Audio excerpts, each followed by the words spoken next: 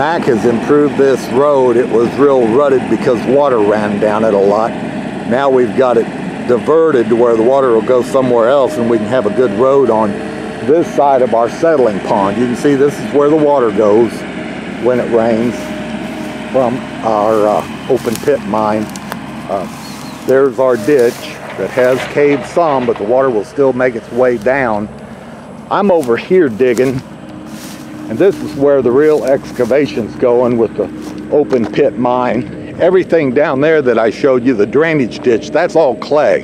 That's not lamproite. But starting with this wall here, that is lamproite. And the volcano's over there. We've dug out a lot of hundreds of tons of ore here and run it through our diamond recovery plant from this open pit mine.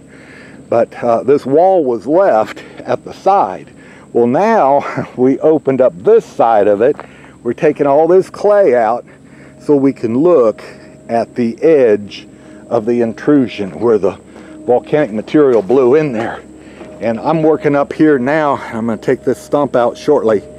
And we hope and plan to take this excavation all the way to the property line.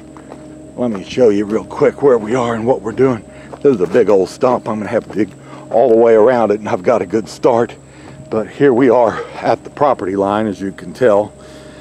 And uh, we're digging right up to it. And uh, that is lamproite at the bottom. We have some clay overburden on top of it. And uh, so dug off the overburden and I pile it up here and Mac comes and gets it, hauls it off and fixes our drive. So uh, everything's looking good. This is exciting to me, the, the edge of the volcanic intrusion. And we're gonna get on the backside and look at it.